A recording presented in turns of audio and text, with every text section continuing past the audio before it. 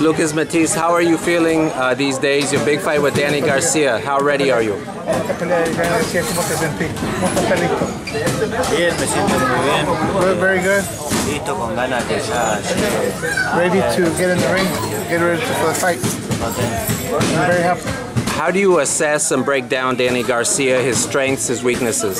¿Cómo, que- cómo querías vos la, la, la condición de, de, de García en la pelea? ¿Cómo lo, cómo lo creerías?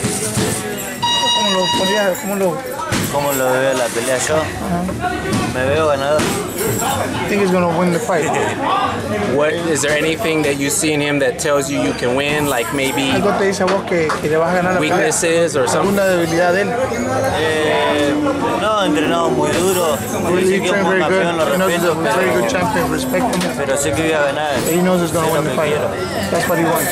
Is there any fights of Danny's that he studied, like maybe the Zab ¿Alguna Judah pelea que has fight? visto? ¿Alguna pelea de, de Danny que has estudiado? Eh, no, no. No. Estudiado no, no I lo he haven't studied none, but I've seen no video.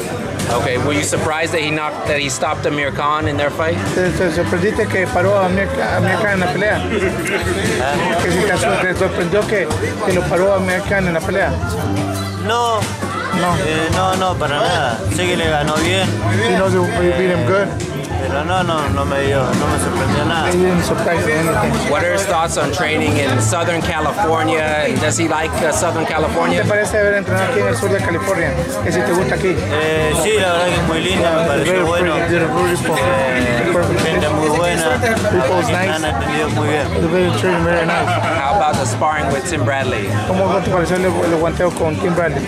Bien, bien, me pareció muy bien. Eh, experiencia buena para A mí. good experience for him.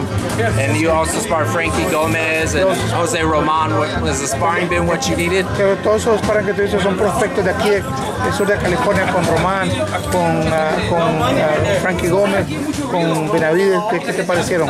Sí, la verdad que buenos prospectos y me ayudaron muy bien. They helped him a lot. Eh, todos pusieron un poco y me han ayudado muy bien.